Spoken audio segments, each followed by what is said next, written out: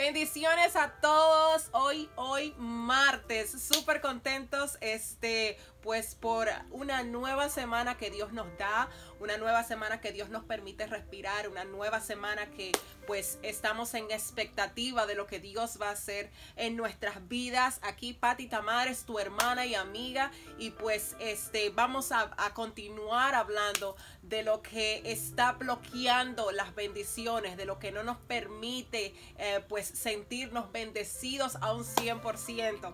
Pero antes de comenzar, antes de iniciar este pues este programa, yo quiero orar. Yo quiero orar este por todas esas bellas personas que nos han estado enviando peticiones este de oración y pues queremos orar para que Dios te bendiga, para que Dios te cubra, para que Dios establezca el propósito en tu vida que Él ha dicho que hará. Aleluya.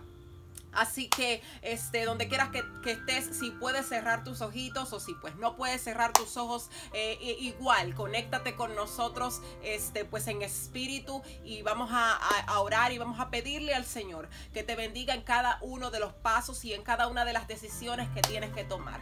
Padre, gracias por permitirnos estar aquí esta noche, Señor. Gracias por permitirnos, Dios, a pues llegar a ti, hablar contigo, darte gracias por todas las bendiciones que nos das, porque podemos decir que hemos podido despertar, hemos podido ver un día, Señor, y pues hemos ah, visto tu mano obrar en, obrar en nosotros, Señor. Padre, ahora yo te pido por todas estas personas que nos están enviando peticiones de oración, peticiones por su familia, peticiones de salud, peticiones, Señor, este, pues de tantas cosas que ellos te están pidiendo, propósitos, este, que quizás no podían decir en el mensaje, pero nos decían, eh, Dios sabe el propósito Señor. Tú sabes, tú sabes lo que ellos te están pidiendo. Tú sabes cuáles son, este, pues, eh, sus metas, cuáles son, Señor, las cosas que ellos tienen en su corazón para cumplir, Dios. Y si está, eh, Señor, a tu propósito para cumplirse, Señor, pues abre las puertas, Señor. Abre las puertas, abre los cielos y bendice a tantas personas, Señor,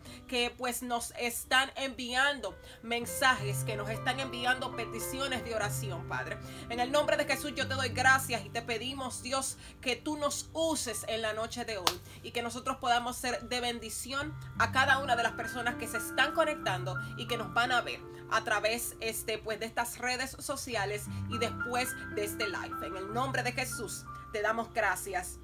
Amén y amén. Bueno, pues, este, si te estás conectando, si no conoces este de nosotros, si es la primera vez que nos ves, bienvenidos a nuestro programa Siendo Honestas. Y pues hemos llamado a este programa Siendo Honestas porque este, si no somos honestos delante de Dios, pues eh, yo creo que es el primer paso que tenemos que hacer para dar, para ser bendecidos. Y pues este, aquí vamos a hablar de cómo tú puedes este, comenzar con esa honestidad y qué cosas este, tú tienes que ser honestos contigo mismo para decir, bueno, pues ese es el paso que yo tengo que dar para pues este, eh, ver el propósito de Dios en mi vida, eh, cumplido en mi vida y pues para ver las bendiciones que Dios pues ha declarado para mí. Como siempre quiero dar las gracias a tanta gente este, que se está dando cita a través de la semana, en el transcurso de la semana y por tanta gente que nos está enviando mensajes de fortaleza, mensajes súper lindos y estamos súper agradecidos de Dios este, por ello y eh, pues también las personas que nos están brindando apoyo, sea eh, por una oración, una palabra, este, sea por este, de manera financiera. Queremos darle las gracias a todas esas personas que pues también están diciendo presente. Te bendecimos en el nombre de Jesús y declaramos que cada semilla que estás poniendo, pues Dios la multiplica al ciento por uno. Este, si quieres unirte a lo que es este, este equipo de personas, este grupo de personas que está diciendo presente, este, pues con una semilla, con una oración, con una palabra, eh, pues hemos ah, seteado una cuenta de PayPal, el cual es patitamares.gmail.com. Este, esta cuenta, pues obviamente no importa cuál parte del mundo tú estás, este, pues obviamente puedes efectuar cualquier ayuda, este, pues que quieras dar. Así que te bendecimos en el nombre de Jesús y declaramos nuevamente que cualquier semilla que pongas, este, pues en este ministerio, Dios la multiplicará al ciento por uno. El, pues la semana pasada estuvimos hablando de cosas que están bloqueando nuestras bendiciones. Son cosas que quizás tú dices, bueno, pues son cosas insignificantes, pero definitivamente no son cosas insignificantes. Y estuvimos hablando la semana pasada para las personas que no vieron, este, no pudieron ver el programa, estuvimos hablando de cubrir nuestros pecados, este, que es una, y pues la otra es la desobediencia, cuando Dios te manda hacer algo, o cuando tú estás haciendo cosas que la palabra te dice que es pecado delante de Dios, pues desde ya estamos este, seteando el camino incorrecto para este, no poder ver las cosas que ya Dios tiene para nosotros. Y pues quiero continuar porque la semana pasada no nos dio tiempo de terminar. Esperamos que este, esta semana sí nos dé el tiempo de terminar.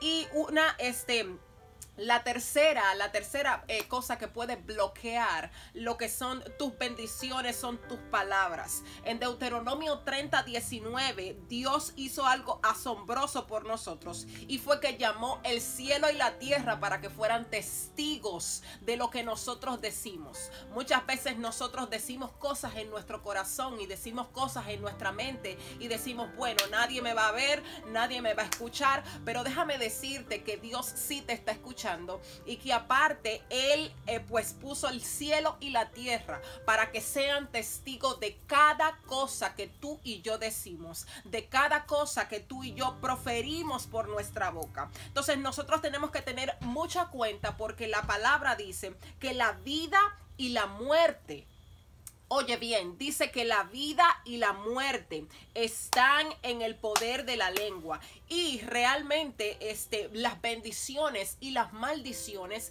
este pues están en lo que es nuestra lengua. Eh, pues me llama la atención y quiero y quiero decir esto públicamente porque el día de ayer este pusimos una declaración y pusimos una declaración de bendición y pues alguien nos eh, puso un mensaje diciendo que nosotros no tenemos el poder de declarar que nosotros, este, que es lo que Dios, este, pues diga de nosotros. Y con todo respeto, yo sí quiero decirle a la persona, este, que sí, nosotros tenemos, nosotros tenemos la autoridad de declarar. Tenemos la autoridad de declarar porque la Biblia me dice a mí que la vida y la muerte estar en el poder de la lengua. So, si yo me mantengo declarando maldición todos los días, eso es lo que yo voy a ver porque eso es lo que está atado a mi lengua. Y si yo me mantengo declarando bendición el día entero, yo le estoy ordenando al mundo espiritual que eso es lo que mis ojos tienen que ver y eso es lo que yo tengo que experimentar. Así que definitivamente, con todo respeto, le digo a esa persona que sí, que nosotros tenemos la autoridad de declarar. Y muchas veces este, eso es lo que está pasando en nuestra vida que nosotros comenzamos a declarar cosas eh, por nuestra boca, pues obviamente primero la pensamos, este, después la declaramos y muchas veces la dejamos en nuestro corazón y no son las cosas más correctas que debemos de tener.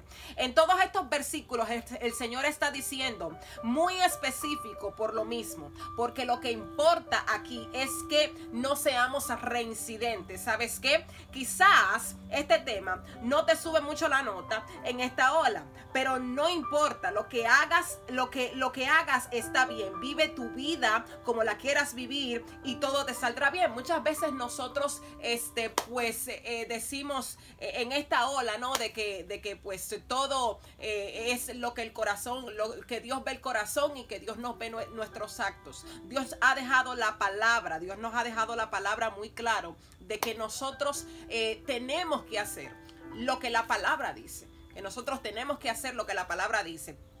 Y vuelvo y te repito, quizás este tema no te sube mucho la nota, el hecho de decirte este que para eh, recibir las bendiciones del Señor tú tienes que obedecer, que para eh, recibir las bendiciones del Señor tú tienes que, que, obviamente ir donde Él y decirle Señor, yo sé que soy pecador, yo sé que hice esto mal, este, pues que para bendecirte eh, tú tienes que aceptar que no lo estás haciendo bien y que lo que has hecho mal no vas a volver a ser reincidente. Dios puso ante nosotros las bendiciones y las maldiciones. Él, no yo, dijo que podemos elegir qué tipo de vida queremos vivir. Él nos dio un libre albedrío. Pero eso no quiere decir que vamos a hacer lo que nos dé la gana que no vamos, que vamos a hacer lo que nos dé, pues obviamente lo que querramos hacer. Vamos a, o sea, nos dio un, libro, un libre albedrío para elegir cuál camino nosotros queremos ir, queremos caminar. Por ello, vuelvo y te repito, Él nos ha dado un, libro, un libre albedrío para que decidamos. Nadie es culpable de que, de que no estás siendo bendecido sino tú. Nadie es culpable de que no tengas paz sino tú. ¿Por qué estás esperando que otro sea el primero en dar el paso? Para que las cosas cambien. Tú tienes que dar el paso. Muchas veces este, tendemos a culpar al otro por las cosas que nos están pasando. Muchas veces tendemos en decir fulanito de tal es que tiene la culpa porque yo no estoy siendo bendecido. Fulanito de tal o fulana de tal tiene la culpa porque me hirió. No, no, no, no, no. Usted tiene la responsabilidad de levantarse y primeramente aceptar en dónde usted está parado. Usted no puede permitir que las decisiones de otras personas este, dictaminen dónde usted debe ir y dónde Dios lo quiere llevar a usted. Dios está poniendo todo ante, ante ti para que tu papá, tu mamá, tus hermanos, no, no tu esposo, sino no tomen la decisión. O sea, Dios está poniendo las cosas en tus manos. No es para que le eche la culpa a tu mamá, no es para que le eche la culpa a tu hermano, no es para que le eche la culpa a tu esposo, no es para que le eche la culpa a la vecina porque te puso la basura enfrente de la casa, este, y por eso pues tú te, te estás este, sintiendo mal y por eso tú estás guardando raíces de amargura. No, no, no, no, todo es la disposición que tiene nuestro corazón. Yo no te estoy diciendo que las cosas, este, pues todo vaya a estar color de rosa, eh, pero sí todo depende cómo nosotros tomemos cada situación que se presente en nuestra vida. Entonces, ¿cómo elegimos la bendición y la vida? Proverbios 18:21 nos dice que la vida vuelvo otra vez a decir, o sea, ahora yo esto me estoy yendo a la Biblia en cuanto a lo que te dije a principio. Proverbios 18, 21 nos dice que la vida y la muerte están en el poder de la lengua. Eso significa que podemos elegir la vida a través de nuestras palabras. Bien, o sea, si usted se mantiene declarando cosas negativas, usted no está eligiendo la vida. Entonces no se sorprenda cuando, las cosas no comiencen a caminar bien o cuando las cosas no estén caminando bien. Nosotros tenemos que escucharnos a nosotros mismos. ¿Qué es lo que nosotros estamos pensando? ¿Qué es lo que nosotros estamos diciendo? Proverbios 18:20 nos revela esta verdad.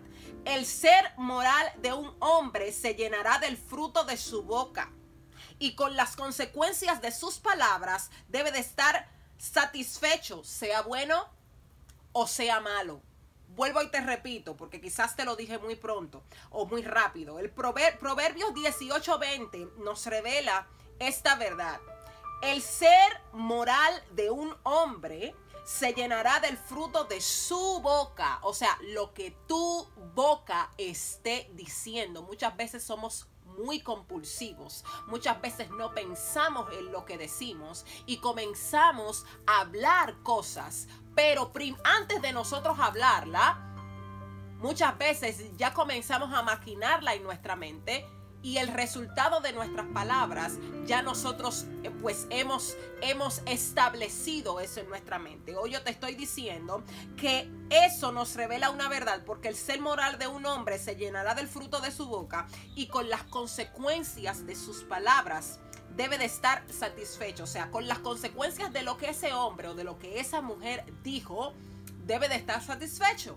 ¿Por qué? Porque es que hay un principio en la palabra de que la vida y la muerte están en tu lengua. Entonces, por eso es que tenemos que tener cuenta en lo que decimos. Eso definitivamente, o sea, cuando esto me llegó, pues yo dije, wow, o sea, definitivamente ahí está uno de los mayores problemas de nosotros como seres humanos. Hay una consecuencia en mis palabras, eso es lo que yo tengo que pensar. Hay una, hay consecuencia en lo que yo digo. ¿Qué es lo que yo estoy diciendo? ¿Qué es lo que yo estoy declarando? Sea buena o sea mala, es mi decisión. Yo tomé mi decisión de decirlo. A mí nadie me obligó a decir lo que estoy diciendo. Y por eso es que debemos de dejar de ser compulsivos, porque muchas veces algunas situaciones en nuestras vidas crean que nosotros digamos cosas compulsivas sin pensarlas. Crean que nosotros, que nosotros digamos cosas que más tarde nos vamos a arrepentir. Así que piénsalo. ¿Andas declarando muerte o maldición a tus finanzas? ¿Andas declarando muerte o maldición a tu cuerpo? ¿Andas declarando muerte o maldición alrededor de ti? Tenemos que pensar, tenemos que ser maduros, tenemos que ser adultos, diciéndole a tu esposo a tu esposa, este, no sé, al parecer nunca saldremos adelante, nunca las cosas podrán, ah, este, pues, avanzar. Muchas veces, este, hay cosas en cuanto a bendiciones y en cuanto a, a cosas que deben de venir positivamente, este, que no llegan porque ya nosotros estamos pensando negativo en nuestra mente. O sea, ya nosotros nos hemos predispuestos. Entonces, después que pasan, le decimos a la otra persona, tú ve, yo te lo dije. Sí, os, exacto, tú lo dijiste. Entonces, como tú lo dijiste, pues tú estableciste. Entonces, nosotros tenemos el poder, porque Dios nos ha dado la potestad, porque Dios nos ha dado la autoridad de cambiar cosas que quizás pueden venir negativas a nuestra vida, pero nosotros, como Dios nos ha dado la autoridad, nosotros podemos comenzar a declarar vida en lo que está muerto. Esos huesos secos que puede ser una relación familiar, que puede ser una relación matrimonial, que puede ser una relación de finanzas, lo que pueda hacer que sean huesos secos, Tú le puedes dar vida con tus palabras. Tú les puedes dar vida con tu declaración. Entonces, este, quizás estás diciendo, por lo que veo, no me, no me promoverán en el trabajo. En esta oportunidad, parece que cada vez que hay una oportunidad, alguien menos clasificado que yo lo consigue. Usted lo está diciendo. ¿Por qué? Porque usted se está acomodando a lo que sus ojos físicos están viendo. Entonces, cuando nosotros comenzamos a declarar lo que no queremos ver, porque usted lo que quieren es que lo promuevan, usted lo que quiere es ser bendecido, pero muchas veces nuestra manifestación corporal, nuestra manifestación mental y nuestra manifestación en cuanto a palabras se refiere, le está diciendo otra cosa al mundo espiritual. Le está diciendo que nosotros somos negativos, le está diciendo que nosotros no estamos esperando bendición, que nosotros estamos esperando lo peor que nosotros podamos esperar. Entonces, aunque nosotros no lo declaremos, hay una manifestación corporal que está diciendo que nosotros estamos pensando negativamente. Hello. Entonces, le estás diciendo a tus hijos que no se pueden comprar lo que necesitan porque porque quizás tu esposo no está ganando lo suficiente. Siempre lo he dicho. Y el que me conoce, cada vez que tengo la oportunidad de ir a ministrar, lo digo. Que debemos de cambiar nuestro lenguaje. Una cosa es usted este, pues decir, ok, tenemos que ahorrar. Una cosa es usted decir, este, bueno, este, reconocer los tiempos. Pero otra cosa es usted mantenerse todo el tiempo declarando de que, ah, en todo, lo que vivimos es escasez. Mira que las cosas no caminan, mira que las cosas no van bien, mira que las cosas no irán bien, mira que esto, mira que aquello, mira. Entonces nos convertimos en una persona que simplemente estamos declarando lo negativo. Y después que lo negativo viene o después que las cosas se estancan, estamos sorprendidos y vamos y le preguntamos al Señor que por qué están pasando estas cosas. Simplemente están pasando porque usted y yo la estamos declarando. Así que tenemos que tener mucho cuidado. Sea malo o sea bueno, habrá una consecuencia para tus palabras. Asegúrate de que sea buena. Si tu situación financiera, averigua lo que Dios dijo primero. O sea, de tu situación financiera, averigua lo que Dios ha dicho en su palabra. Para eso Dios nos ha dejado su palabra. Para que nosotros nos veamos como Él nos ve. Si la palabra, si la palabra de Dios dice que Él nos ve prosperado en todo, si Él nos está diciendo eso, ¿por qué nosotros nos estamos viendo con los bolsillos rotos. Entonces, muchas veces es como nosotros nos estemos viendo. El cuarto, el cuarto bloqueador, y no sé si nos va a dar tiempo a terminar porque son seis, es la ofensa. Hello, la ofensa. En Mateos 11, 22 al 25 nos dice que si nosotros no perdonamos a otros, nuestra fe se va a obstaculizar y que debemos perdonar a los demás para que entonces nuestro Padre perdone nuestros pecados. Muchas veces nosotros, ay, somos tan, tan duros a perdonar. Nos ofenden y somos tan duros a perdonar. Pero cuando nosotros necesitamos perdón, muchas veces nosotros vamos donde Dios, quizás esperamos un tiempo para nosotros ir a donde la persona que nosotros hemos ofendido o que nosotros hemos hecho sentir mal. Pero cuando nosotros vamos donde Dios, nosotros queremos que Dios nos perdone y que nos perdone ahí. Entonces, si Dios te perdonó tus pecados, si Dios te perdonó tu ofensa, ¿por qué tú tienes que esperar? ¿Por qué tú tienes que torcer la boca y torcer los ojos para arriba, para abajo y estar en una esquina? No, no, no, perdone. Está bien, usted tiene toda la razón quizás de sentirse mal porque lo hicieron eh, sentir mal, pero, pero perdone y deje, y deje ir eso. ¿Por qué? Porque cuando usted no perdona, eso lo esclaviza. Recuerda que hablamos de la esclavitud entonces, entonces te pregunto, perdón, ¿te ofendes a menudo? Yo he tenido cientos de oportunidades para ofenderme, especialmente en el mundo de la iglesia. Este, mucha gente sabe que pues yo soy cristiana desde pequeña. Este, mi papá eh, pues fue pastor por 40 años. Pero me he dado cuenta que eh, son, son unos de los territorios más delicados. Entonces, si usted comienza a ofenderse por todo lo que le dicen o por todo lo que usted hace, eh, definitivamente usted va a, vivir ofendido toda la vida. Estar ofendido tiene raíces de orgullo. Te ofendes cuando te pasan por alto, o sea, cuando te pasan por desapercibido, cuando tu jefe no elige la promoción para ti, cuando tu pastor no te pide que prediques. Llevar esta ofensa es un indicativo de que tu orgullo está dirigiendo esta situación. O sea, usted no puede dejar que su ofensa, entre paréntesis, su orgullo, domine esta situación. Ahora estás enojado, ya no quieres ayudar, piensas que eh, eh, eh, lo, piensas muchas veces, ¿por qué debo hacerlo? Nunca usan mis ideas de todos modos. entonces, ¿por qué yo, no, yo voy a decir lo que voy a decir si realmente pues no me van a tomar en cuenta? Luego, luego comienzas a aislarte, las raíces de amarguras comienzan a crecer, murmuras, te quejas de todo y de todos. Y desde ya, esas cosas no están permitiendo que tus bendiciones entren. No están permitiendo que tus bendiciones lleguen.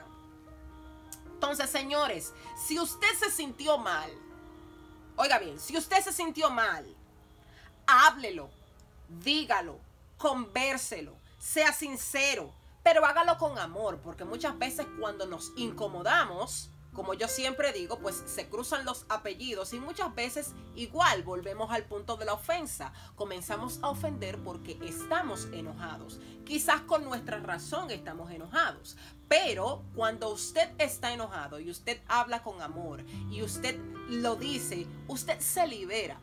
Usted se libera y pues la otra persona entiende que no debe seguir haciendo lo que usted, este, pues con lo que usted se sintió mal.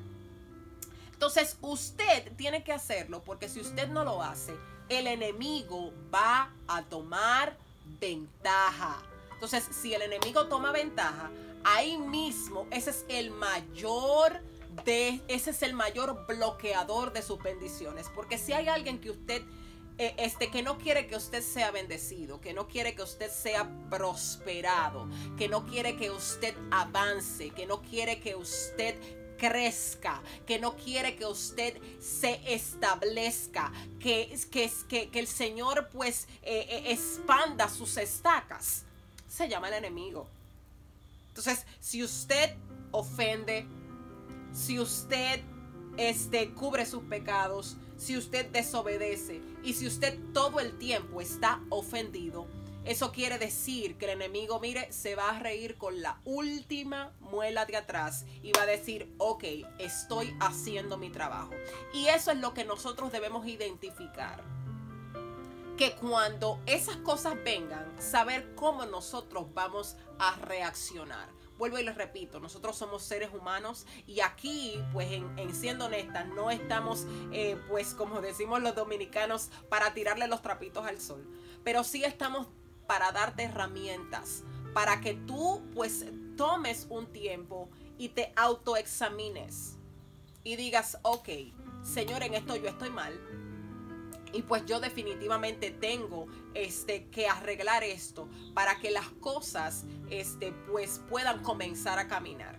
Eh, para nosotros ha sido más que un placer estar aquí. Le digo, el tiempo está caminando súper rápido. Este, apenas comenzamos el programa, pero definitivamente este, tenemos 30 minutos uh, pues para, para desglosar eh, todo esto. Eh, la próxima semana vamos a terminar con lo que está bloqueando nuestras bendiciones. Señores, gracias a la gente que nos está mandando canciones, gracias a los compositores que nos están mandando canciones para este nuevo proyecto. Estamos súper agradecidos, pero voy a volver a repetirlo. Si tú tienes canciones, si tú tienes canciones y tocas guitarra o que alguien te puede tocar la guitarra o el piano, mándanos tus canciones a patitamares.gmail.com. Hay mucha gente que nos ha enviado números telefónicos. Este, pues quiero decirle que no solamente yo escucho las canciones, sino que tenemos un equipo de trabajo, el cual pues nosotros escuchamos las canciones este, y pues decidimos si realmente va a entrar en lo que es el álbum y nuevamente quiero este pues agradecer a todas las personas que nos están apoyando. Y si tú quieres apoyar también puedes irte a, la, a tu cuenta de PayPal y poner patitamares.gmail.com y con cualquier semilla que quieras sembrar, pues obviamente este pues uh, va a ser muy bien agradecida. Vuelvo y lo repito, patitamares eh, y simplemente, o sea, te va a aparecer lo que es la cuenta de nosotros. Así que muy agradecidos de Dios y de ti y de todo lo que está sucediendo eh, pues en, nosotros así que este si deseas también uh, pues llamarnos al 704 467 97 46 ¿cómo es? Sí, al Booking Pati Tamares, pero quiero también que me des el teléfono 704 617-7859. Bueno, señores, estamos en vivo y este, esta es la belleza de estar en vivo. Así que bendigo la vida de todo el que nos está viendo. Patty Booking Ok, Booking Patty Tamares, no sé qué es lo que me pasa hoy, señores. Booking Patty Tamares arroba gmail.com también nos puedes escribir y le doy gracias a mi esposo que está ahí, pues, este, diciéndome todo lo que está. Te bendigo, mi amor, en el nombre del Señor. Así que los bendigo, los bendigo y pues eh, nos vemos el martes, nos vemos el próximo martes, eh, pues a las 7:30 de la noche. Quiero orar, quiero orar. Padre, en el nombre de Jesús, ahora declaro bendición. Declaramos bendición en el nombre de Jesús para tanta gente que pues que está conectada, Señor. Para tanta gente, Dios, que tiene tanta necesidad de ti. Para tanta gente, Dios, que está buscando respuestas, Señor. Revélate a ellos en el silencio de la noche.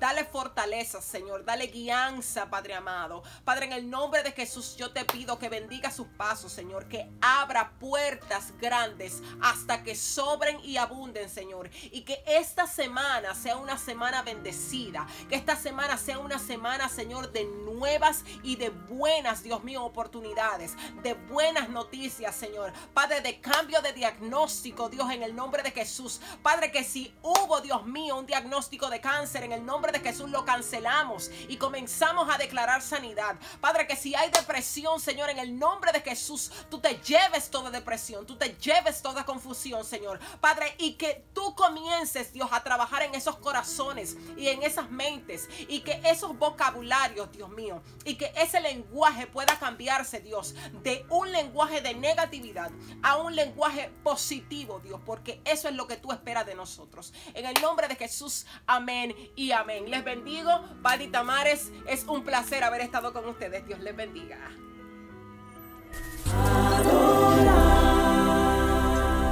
Adora es un sentir que Dios ha puesto en nuestro corazón, levantar un movimiento de hombres y mujeres con un corazón dispuesto. Muchas veces nos distraemos y nos olvidamos que la adoración es una armadura para romper.